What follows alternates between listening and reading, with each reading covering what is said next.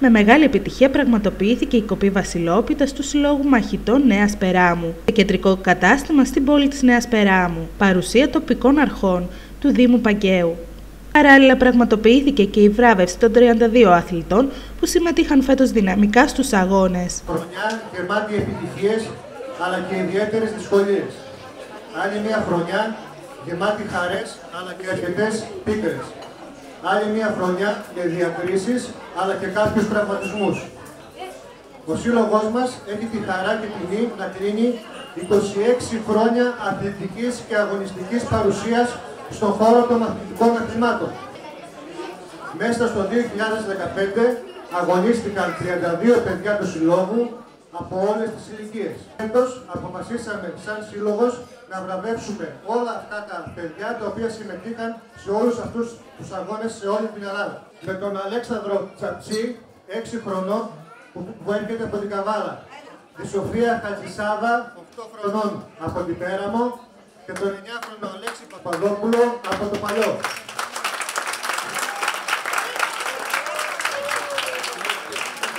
Τα τρία αυτά είναι οι προμαχητές οι οποίοι προετοιμάζονται για να αγωνιστούν στους μεγάλους αγώνες. Χρόνια πολλά σε όλους.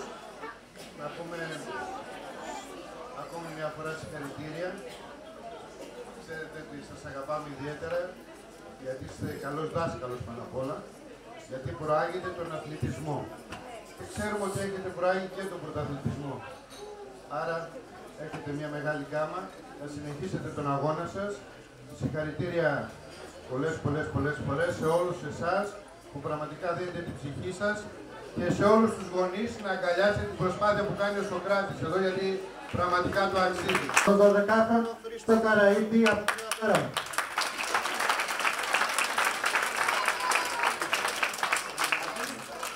Καλημέρα και από μένα, χρόνια πολλά.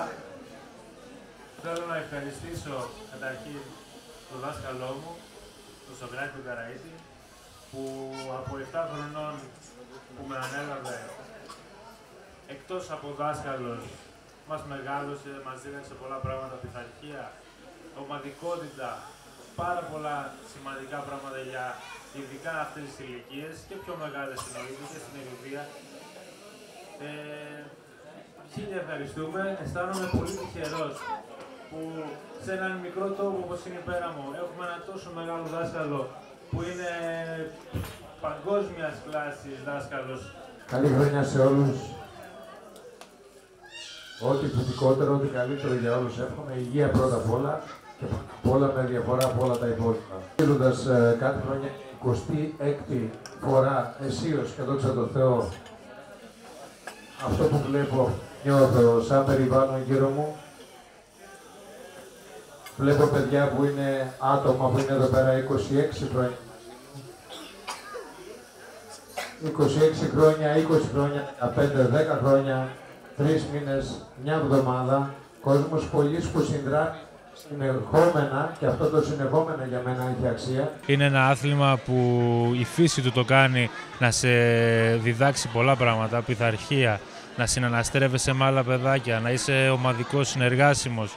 Είναι και κατόπιν αυτό μεγαλώνεις με σωστές αρετές και σιγά σιγά μπαίνεις και στην εφηβεία χωρίς να έχεις μπλεξίματα με διάφορες ε, κακές επιρροές από ναρκωτικά. Ε, πιστεύω ότι παίρνεις ένα σωστό δρόμο, πιο σωστό δρόμο και πάνω απ' όλα ε, αθλείσαι, γυμνάζεις το σώμα σου, το πνεύμα σου παράλληλα και θεωρώ ότι αυτό είναι και το πιο σημαντικό που μπορεί να σου προσφέρει ο αθλητισμός. Οι δυνατότητες είναι πάρα πολύ μεγάλες από, τους, από το Σύλλογο Μαχητών Νέας Περάμου. Έχουμε πρωταθλητές, παγκόσμιους πρωταθλητές, πανευρωπαϊκούς αλλά και πανελλήνιους πρωταθλητές και στο kickboxing αλλά και στην ε, πυγμαχία. Κάτι ανάλογο περιμένουμε και για το 2016.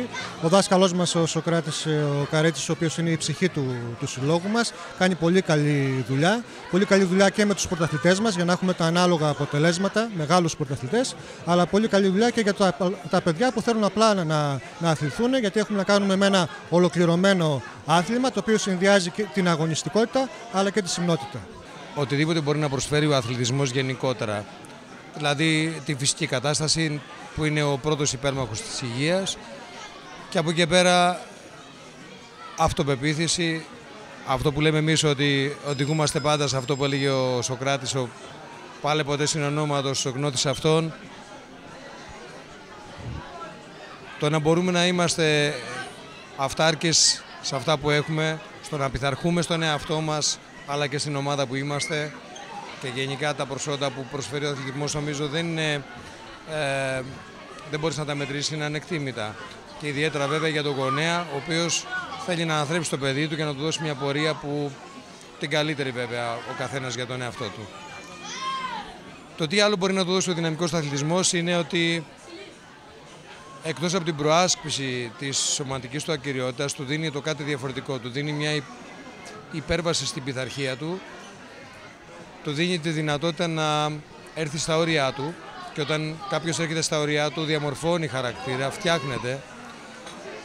Όταν έρχεται στα όρια του νιώθει ακριβώς που καταλήγει και πόσο ο προπονητής, ο δάσκαλος θέλει και απαιτεί να φτάσει πιο πέρα και συνεχώς βέβαια πιο πέρα. Να πω κάτι για τους γονείς, είναι η παρένεση να σπρώξουν τα παιδιά τους στον αθλητισμό και βέβαια από το, από το δικό μου μετερίζει στο δυναμικό αθλητισμό.